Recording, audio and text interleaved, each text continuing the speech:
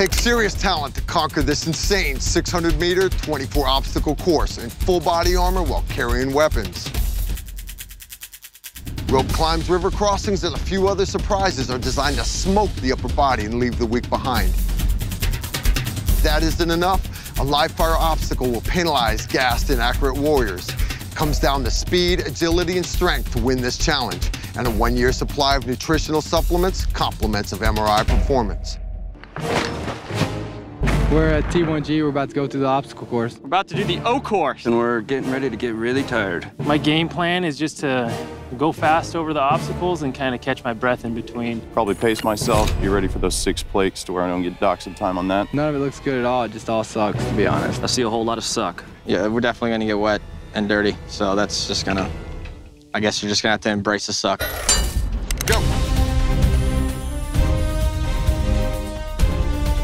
I tell you, I probably didn't do enough rope training before I came here. I figured uh, it's better to take your time, get over an obstacle instead of taking a penalty. Uh, first rope was good. First obstacle, you know, getting in it clean, no big deal. Uh, knew I had an elevated heart rate after that. Saw what was coming up ahead, just tried to pace myself through it.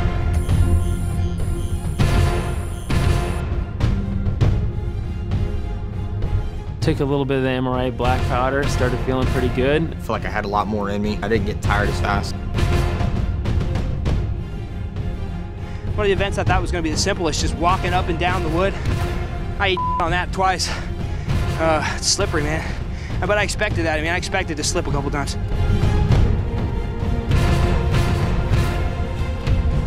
Hardest obstacle had to be the uh, climbing the inverted water obstacle. Yeah, it sucked. Outstanding. Once that rope smokes you, you're pretty much, uh, whew, just trying to hang on.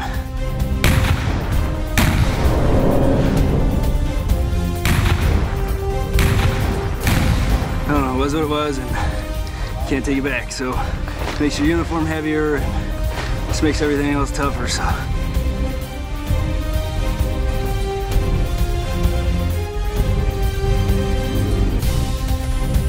Monkey bars, had to take a quick breather. Slow, smooth, smooth, fast. You hang in there. You got it. Two more, two more, two more.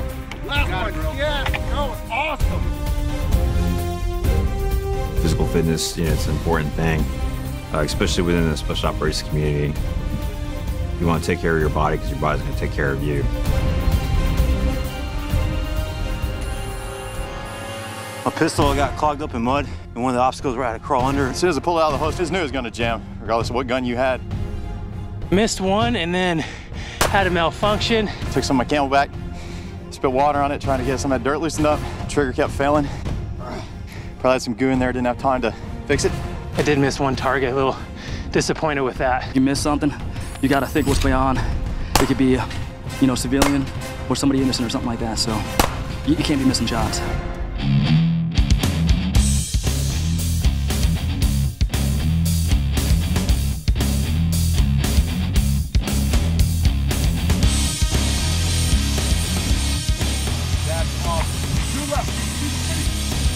The uh, rope climb wasn't as bad as I thought it was. Now there was a six foot wall or even the uh, decline wall.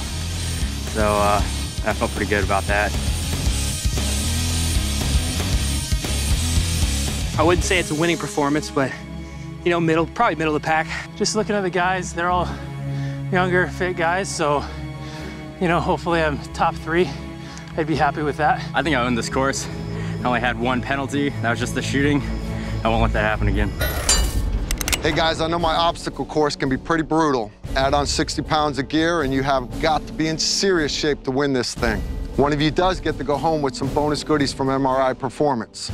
The warrior with the fastest time and recipient of a one-year supply of supplements from MRI Performance is Derek.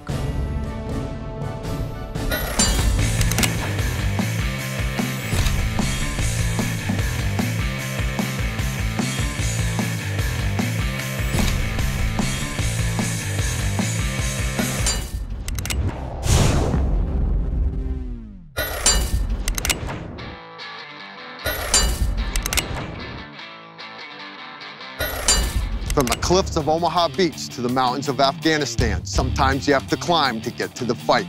Welcome to Cliffhanger.